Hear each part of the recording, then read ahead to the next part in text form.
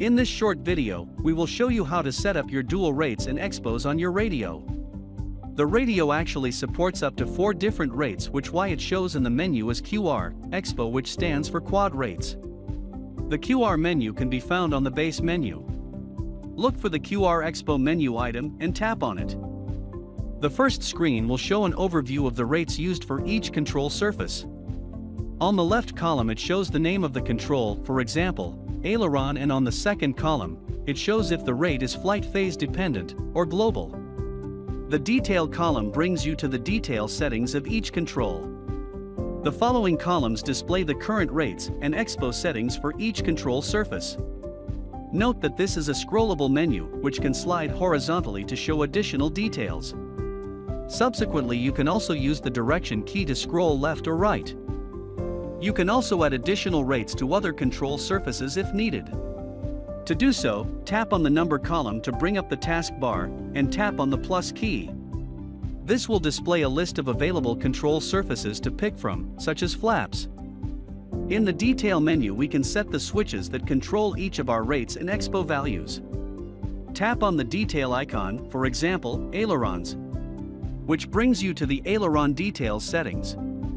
In this menu you can select the curve type, phase dependencies, set your rates and expos, and assign switches for each rate. Let's start with assigning a control switch for our rates.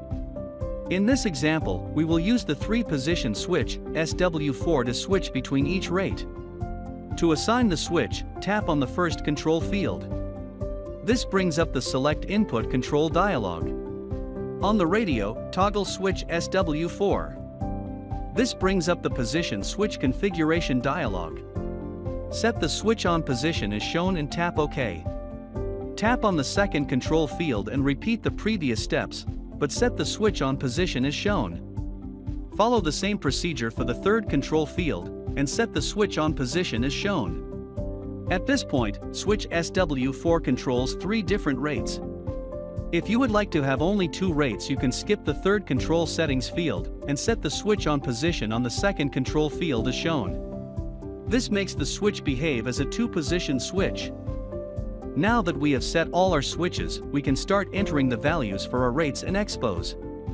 Tap on the Value tab to enter the Rates and Expo menu. On the bottom you will see the current active switch position for which we will be setting our rates. Tap on the rate field to bring up the settings toolbar. If you want both rates to be equal, you can tap on the link icon to have both values set at the same time. Use the up, down arrow icons to change the rate values.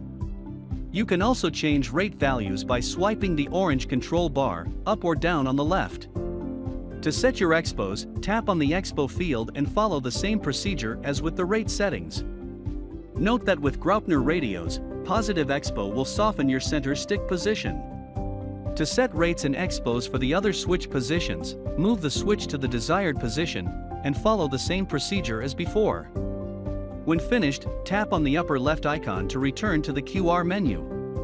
You may notice that the aileron field is now showing the values you previously entered in the rate and expo fields. If you need to make changes, you can do them directly on this menu. This concludes the QR Expo tutorial. If you still have questions or suggestions, visit us at controlhobbies.com and leave us a message. Also, check out the product resources pages on our website for additional Graupner radio videos and tutorials.